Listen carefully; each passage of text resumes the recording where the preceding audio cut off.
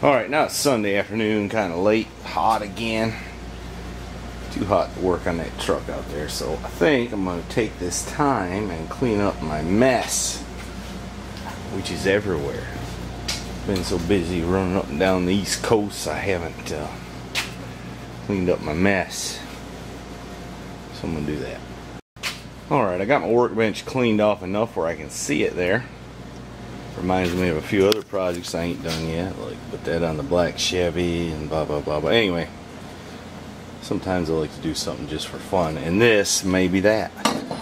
I got this from my dad. He had it laying around, no telling what that came off of, but it's an air horn with a little button. Probably came off some old military vehicle if I had to guess. But anyway, my idea is I'm gonna mount this horn up here somewhere. And I'm going to mount that button somewhere obvious place with a sign on it that says do not push. And I should be able to garner some amusement from that. Alright this is an ideal. Obviously you can't get junk for free and have it all be in good condition. But let's see what happens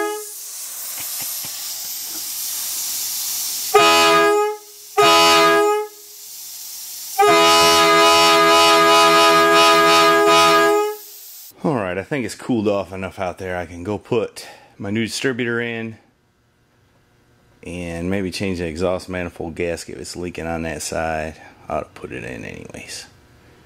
And play with the radio maybe.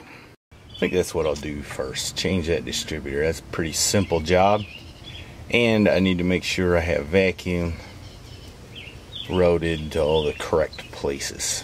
And that shouldn't be too hard either.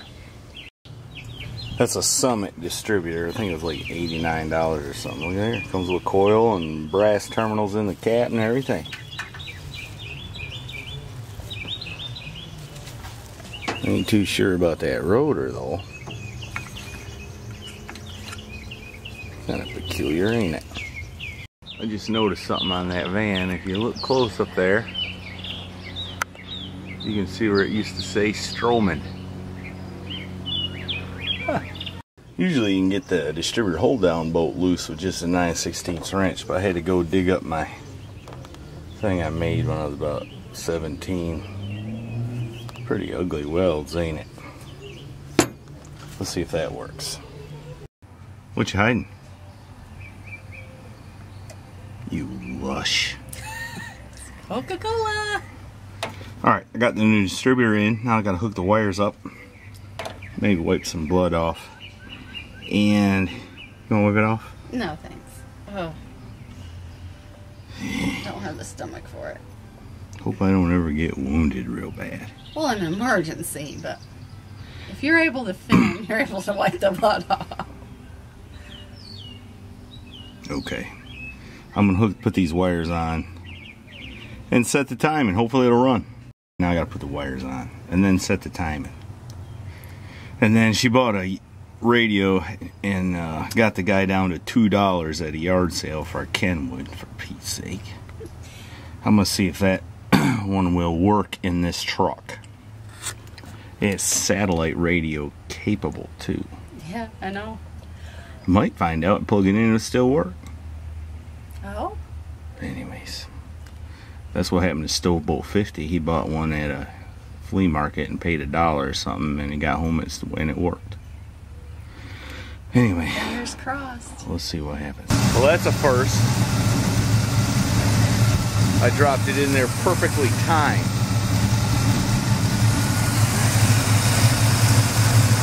Got that radio hooked up yet? No. Why not? I don't know nothing about it. We ought to let the folks hear it run, hadn't we? Yeah. Crank her up one time. Oh.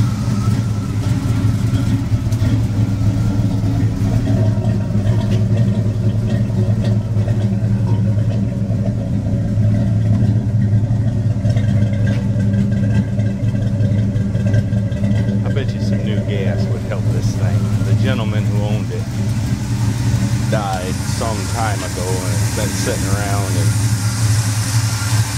and the state and all that business. So it's got old gas in it. Sounds pretty good. Got a little exhaust leak on this side on that manifold. I gotta change that, but don't think I'll do it today. I think I'll work on the radio. I had to move her to the back seat. We got quite a plethora of wires and whatnot here. And where did it go? This one doesn't have the plug on the end, but I think with some cutting and snipping, we might be able to make something work. Well, guess what? What?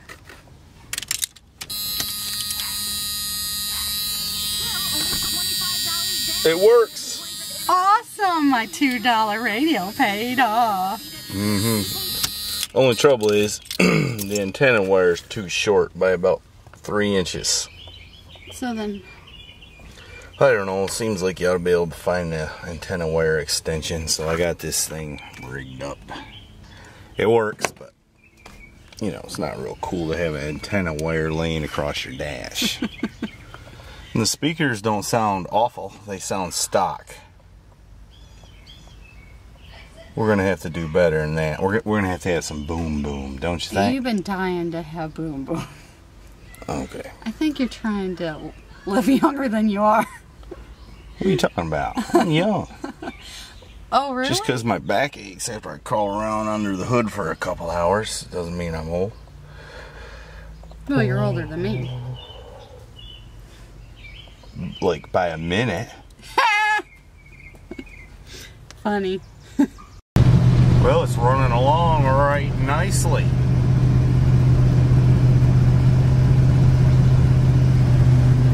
Do you like the ride? Like it.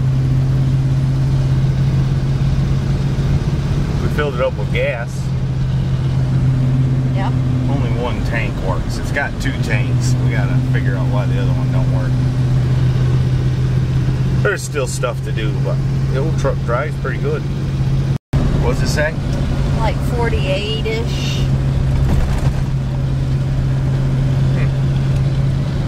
ish. Seems like I ought to be a little colder than that, but we'll figure it out. I gotta do some reading.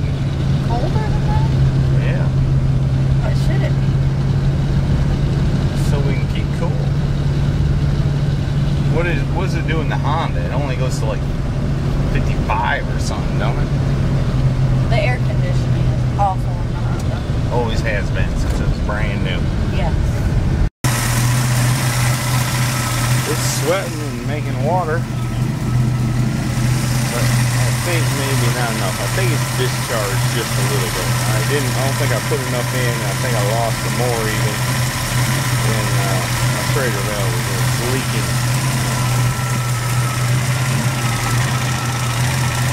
And that compressor, I don't know. I hear it working, but maybe that's how it's supposed to be. One other thing I noticed.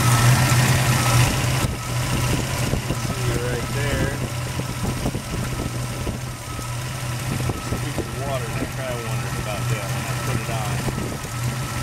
Might to get a new one. Aluminum and corroded pretty bad.